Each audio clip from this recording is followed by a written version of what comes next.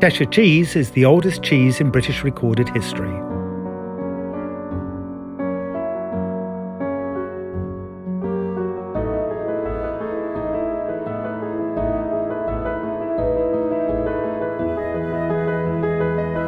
His family have farmed since the 17th century. John Bourne is one of the last artisans to make Cheshire cheese in the traditional way. John makes his cheese on his farm, The Banks, in Cheshire.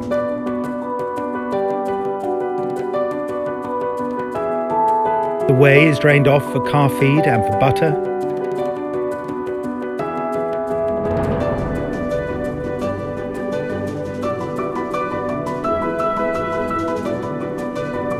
then left to mature.